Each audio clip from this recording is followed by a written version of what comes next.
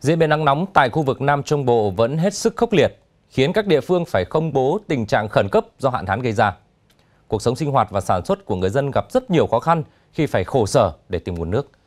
Nhưng hình ảnh của nhóm phóng viên VTC14 đang có mặt tại vùng tâm hạn Ninh Thuận sẽ cho thấy rõ điều này.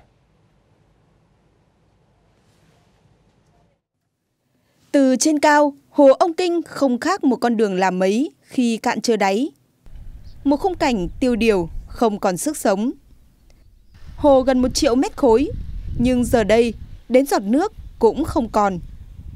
Những đường ống dẫn nước cắm sâu xuống lòng hồ, giờ cũng không còn tác dụng, phải bỏ không. Tôi đang có mặt tại nơi sâu nhất của lòng hồ Ông Kinh, xã Nhân Hải, huyện Ninh Hải của tỉnh Ninh Thuận.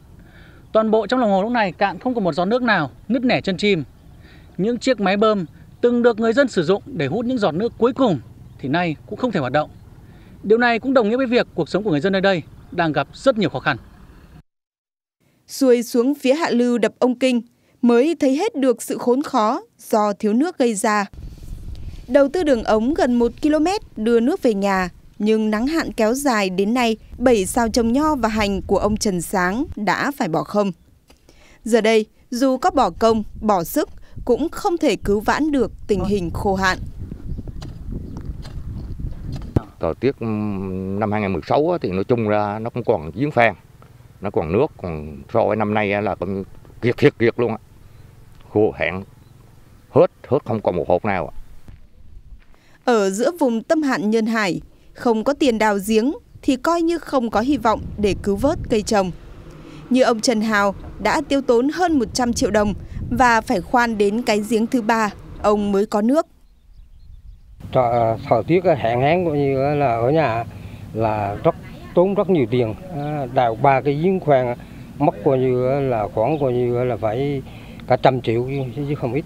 À, nên từ đó coi như là mong muốn coi như là các cấp chính quyền coi như là có coi như cái nguồn nước ở đâu coi như là đêm về. Ở địa phương chủ yếu là cái cây mà lâu năm là chủ yếu là cây nho cây táo với lại trồng cỏ và những cây ngắn ngày như cây hành lại cây tỏi thì hiện nay là cũng như là nó ảnh hưởng là ảnh hưởng cái tới cái cây ờ, cái cây, cây, cây nho thì ờ, lúc trước đây là diện tích sản xuất của địa phương là 40 ha nhưng mà bây giờ này còn lại là khoảng ờ, hai mươi mấy ha thôi.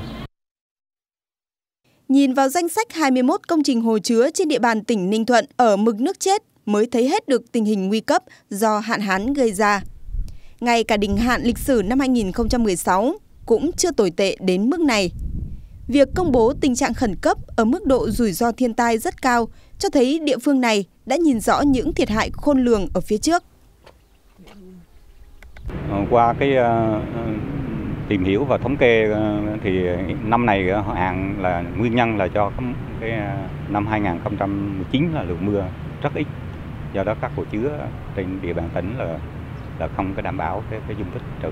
Dù mấy năm là cuối cuối tháng 12 là phải trữ được 100% thì năm nay trữ khoảng chừng 6 70 trăm. Thậm chí có những hồ lớn nhất ờ, của ờ, lớn thứ nhì của tỉnh là hồ Đông Châu thì đến nay còn có một ở hơn triệu khối. Có nghĩa là dưới mực nước chết.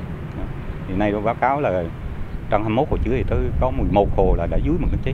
Thì có những hồ coi như chỉ ưu tiên là dành cho nước sinh hoạt thôi do đó là cái cái cái ờ, thực hiện chỉ đạo của tỉnh ủy ủy ban nhân tỉnh thì công ty khai thác công ty lợi tỉnh ờ, là bố trí chặt chẽ và phối hợp với địa phương để đảm bảo cái, cái công tác ờ, ứng phó với là hạn hán nhất là để không để người dân thiếu nước sinh hoạt. Từ tháng 9 năm 2019 đến nay, nhiều vùng trên địa bàn tỉnh Ninh Thuận không có một giọt mưa nào.